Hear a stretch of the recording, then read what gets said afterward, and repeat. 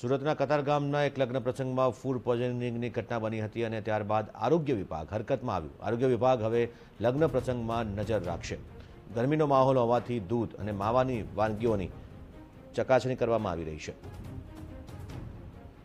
તો વધુ જાણકારી લઈશું સંવાદદાતા પારુલ મહાડિક પાસેથી. પારુલ, જે રીતે આરોગ્ય વિભાગ હવે સતર્ક બન્યું છે કઈ કઈ રીતે તે હવે વધુ નજર રાખશે લગ્ન પ્રસંગોમાં? બિલકુલ નરેન્દ્ર, કતારગામ વિસ્તારમાં યોજાયેલા એ લગ્ન પ્રસંગમાં જે બસોથી વધુ મહેમાનો જેમણે જમણવાર કર્યા હતા તેમને ફૂડ પોઈઝનિંગની અસર થઈ હતી. લગભગ ઓગણપચાસ કરતાં પણ વધારે જે જાનૈયાઓ હતા, તેમને હોસ્પિટલમાં દાખલ કરવાની ફરજ ઊભી થઈ હતી.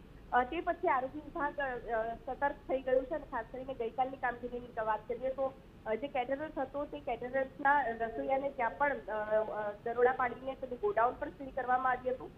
સાથે જ આરોગ્ય વિભાગના જણાવ્યા પ્રમાણે ગરમીનો માહોલ છે અને ખાસ કરીને ગરમીની સિઝનમાં આ પ્રકારની ફૂડ પોઈઝનિંગની શક્યતા વધારે રહેલી હોય. હવે લગ્ન પ્રસંગમાં પણ કોર્પોરેશનની ટીમ દ્વારા ખાસ વોચ રાખવામાં આવશે અને જરૂર પડીએ તો જમણવાર હશે તેના સેમ્પલો પણ લેવામાં આવશે અને તેની ટેસ્ટિંગ પણ કરવામાં આવશે.